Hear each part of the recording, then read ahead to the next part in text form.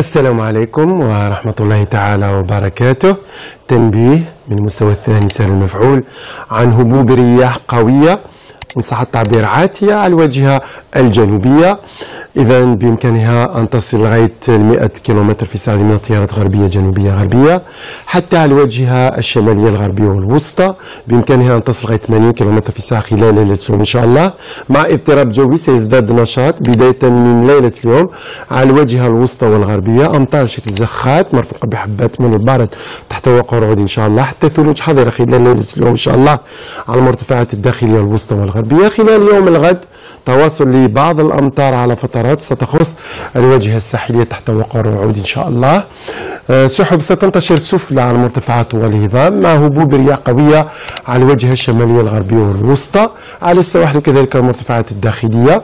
على الجنوب في الأجواء تبقى مستقرة لكن تواصل لهبوب رياح قوية ضمن تيارات غربية.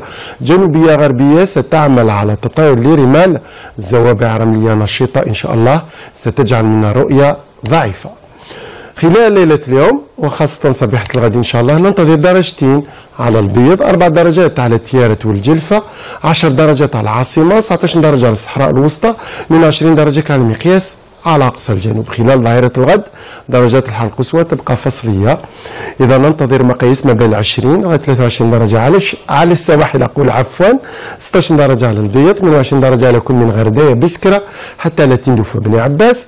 39 درجة كان المقياس. على أقصى الجنوب. البحر خلال يوم الغد يبقى كثير الهيجان. على طول الشريط الساحلي رياح ضمن تيارات غربية جنوبية غربية. ستشتد تصل لغاية 70 كيلومتر في الساعة. غرب الشمس اليوم الغد إن شاء الله الأربعاء على مستوى العاصمة سيكون بحول الله. ست دقائق, ست دقائق أقول بعد السابعة مساء. أشكركم على المتابعة. رمضان كريم وصحة فطوركم والسلام عليكم.